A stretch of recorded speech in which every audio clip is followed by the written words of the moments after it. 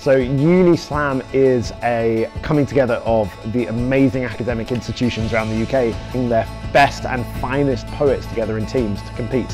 While it's a competition, that's not the main part of Unislam. Unislam is about a group of poets sharing their work, you getting inspiration from other people, becoming a better poet and becoming a better person. Unislam is the most incredible experience I've ever taken part in. It's the biggest, warmest, most poetry-filled environment. You get that same feeling of being in a festival and being surrounded by people who are like-minded and you can be yourself and they will respect you and love you.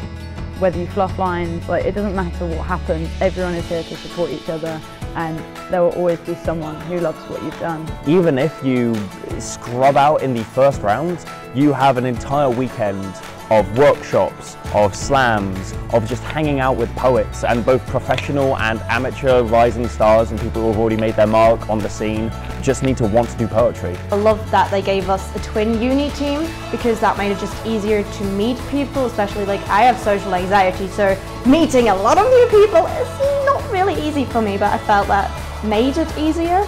I think my favourite moment of this weekend was probably the workshops because they were industry, like some of the best poets in the industry, teaching amazing workshops about what it is like being a poet, things to do with publishing, editing, um, politics, how to bring do narratives into your poetry. I've been crying, I've been laughing, I've been staring into nothingness because I didn't know how to react.